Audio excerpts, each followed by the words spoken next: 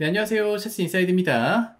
네, 오늘은 두 번 다시 나올 것 같지 않은 경기가 있어서 네, 하나를 준비를 해봤는데요. 어, 체스닷컴의 챔피언스 체스 투어 네, 경기에서 네, 파비아노 카루아나와 알리레자 피로우자가 맞붙게 됐습니다. 자, 그러면 경기를 바로 보도록 하겠습니다. 자, 카루아나가 C4 English Opening으로 경기를 열었고요. 자, 그 C6를 발판 삼아서 이제 D5로 밀고 나오면서 이제 중앙 싸움을 가져가려고 합니다. 자, 나이트 전개되고요. 자, 흑이 D5로 밀고 나왔을 때 백이 G3 어, 하면서 이제 비숍을 긴대각선 배치하는 전략을 활용을 하거든요. 자, 이렇게 비숍을 긴대각선 배치하는 전략과 이 C4 이 폰이 어, 좀 잘 어울리는 전략이라고 볼 수 있겠어요. 자, 이렇게 되면 이 중앙을 압박하는 한편 이 대각선의 상대 진영을 이제 공략해 줄 수도 있거든요. 자, 이제 흑은 비숍을 바깥으로 이제 빠르게 꺼내면서 경기를 풀어갑니다. 자, 지금은 폰이 공짜긴 한데, 근데 이렇게 되는 경우라면 이거는 백의 노림수 속으로 이제 들어간다고 볼 수 있겠어요. 그러니까 왜 그러냐면 이 대각선이 조금 더 헐거워지는 측면이 있고 그 다음 지금 흑은 중앙폰을 이용해서 상대 측면폰을 잡았는데 결국 이 폰을 지키기가 쉽지가 않을 겁니다. 그러니까 왜 그러냐면 얘를 지키려는 뭐 B5 같은 수가 결과적으로 대각선이 좀 더 취약해지는 결과가 생겨날 거란 말이죠. 자 이렇게 되면 나이트가 이제 뛰어들면서 공격을 하거나 백이 A4를 이용해서 이 폰 구조를 이제 공략하면서 또 이제 경기를 풀어갈 수가 있겠죠.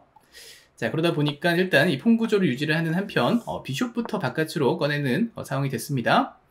자 이렇게 되면 두 폰이 교환되는 경우라면 상대 나이트와의 교환을 해서 이 폰 구조를 망가뜨리고 이 상대에게 고립된 폰을 주는 이제 그 상황을 만들 수도 있고 그 다음 또 비숍이 나갔기 때문에 이제 폰 구조를 닫으면서 그러니까 상대 이 비숍 대각선을 이제 그 벽을 만들어서 그러니까 벽을 세워서 막는 형태로 또 이제 플레이를 가져갈 수도 있겠죠. 자, 나이트가 빠르게 E5 칸 이동하면서 자, 비숍을 공략해 주는데요. 자, 비숍이 일단 뒤로 빠지면서 공격을 피했고 자, 백이 퀸 B3를 이용해서 이제 빠르게 공격을 합니다.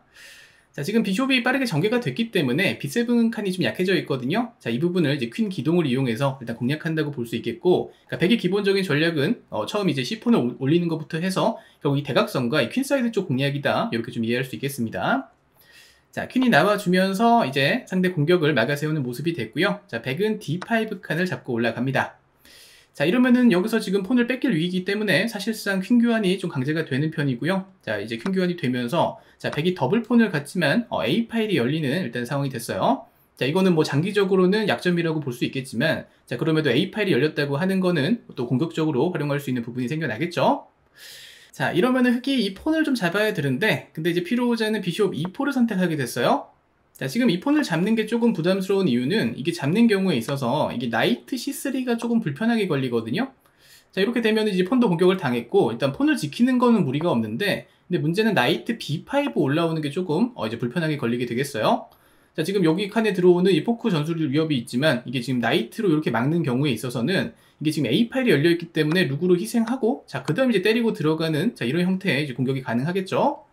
자 그러다 보니까 일단은 어, 좀 기술적으로 비숍으로 가서 이제 룩도 공격하고 이 폰 구조를 망가뜨리지 않는 선에서 이제 폰을 잡으려고 하거든요.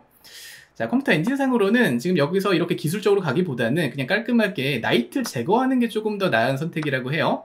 자 그럼 나이트 걱정도 안 해도 되고 그 다음 룩까지도 이 A 파일에서 끌어내기 때문에 그러니까 폰 잡아내고 나면 자 이거는 이 장기적으로 봤을 때 이 폰 구조적으로 그러니까 흑이 조금 더 앞서가는 상황이 되기도 하거든요. 자, 그런데 일단은 비숍 E4가 됐고, 자, 여기서 카루아나가 어, 탁월한 수를 보여줍니다. 자, 룩을 지키지 않고 상대 C6 폰을 잡고 올라가요. 자, 이게 체스닷컴 분석에 따르면 느낌표 두 개를 받는 어, 탁월한 수가 됐고요. 자, 그리고 여기서 피로자가 이 상대의 탁월한 수에 맞서서 이제 물음표 두 개로 이제 화답을 하죠. 자, 상대 룩을 잡게 됐습니다. 자, 근데 이게 이제 물음표 두 개를 받는 blunder가 되면서 자, 그대로 경기가 기울게 됐고 자, 그래서 카루아나가 룩으로 A7을 잡으면서 자, 상대에게 기권을 받아냅니다. 자, 앞선 상황을 잠깐 돌려보자면 지금 컴퓨터 엔진상으로는 그냥 이 폰을 깔끔하게 이제 잡는 게 어, 가장 최선이라고 하거든요. 자, 이렇게 되면 이제 두 개의 위협은 살긴 하지만 근데 여기서도 그러니까 백이 좀 이제 노려볼 수 있는 측면은 있습니다. 그러니까 두 가지 공격을 F3를 하면서 이제 막아내게 되면 결과적으로 백이 폰이 하나 앞서는 상황으로 가거든요. 자 지금은 이 폰을 잡고서는 그 다음 나이트를 회수하려고 봐도 나이트가 도망가 버리면 그만이고. 자 그렇다면 나이트를 잡아야 될 텐데. 자 이렇게 되면 비숍을 잡으면서 그러니까 백이 폰 구조는 망가졌다고 하더라도 지금 이 비숍 대각선이라든지 그러니까 비숍 쌍과 그 다음 또 폰이 하나 많다라고 하는 어, 이점으로 이 중앙 공간을 또 확보하는 또 플레이가 될 겁니다. 자 그래서 일단 상대 유혹에 일단은 넘어가면서 자 룩을 잡게 됐는데 자 카루아나가 그냥 룩으로 A7을 때려 잡아버리죠 자, 이렇게 되면 이제 흑이 수비가 불가능하다라고 보는 게 맞을 것 같아요. 자, 일단 첫 번째로 룩을 하나 잡긴 했는데 상대에게 룩을 잡힐 위기거든요. 자, 룩을 그냥 하나만 내주면 상관이 없지만 근데 지금은 룩이 잡히고 나면 나이트까지 잡히게 될 거예요. 자, 예를 들어서 뭐 비숍이 돌아와서 폰을 잡는다 그러면 자, 룩이 잡히고 나면 pin에 걸려서 이 나이트를 지킬 수가 없겠죠? 자, 그렇지 않고 이제 나이트를 이용해서 폰을 잡고 그러니까 룩이 공격을 받았을 때 그러니까 요걸 이제 나이트 살리려고 봐도 근데 지금은 나이트가 절묘하게 어, D7 칸을 끊어주기 때문에 이 체크메이트 위협을 막기가 쉽지가 않습니다. 그렇다면 결국 이제 나이트가 들어가야 될 텐데 자, 이 경우엔 전술적으로 이 룩으로 나이트를 때리는 자, 이런 플레이가 가능하죠. 자, 왜냐면 나이트가 F7 칸에 들어가면서 결국 룩을 하나 더 잡아내거든요. 자, 이거는 기물 상황에서 어, 도저히 이제 뒤집을 수 없는 상황까지 갔다. 이렇게 이제 볼 수가 있겠습니다. 자, 그렇다면 결국 이제 상대 rook을 잡는 선택을 해야 될 텐데, 자, 이 경우에 이제 백이 노리고 있는 건, 어, 상대 B7 폰을 잡는 게 아니라, 바로 C7 pawn 전진이죠?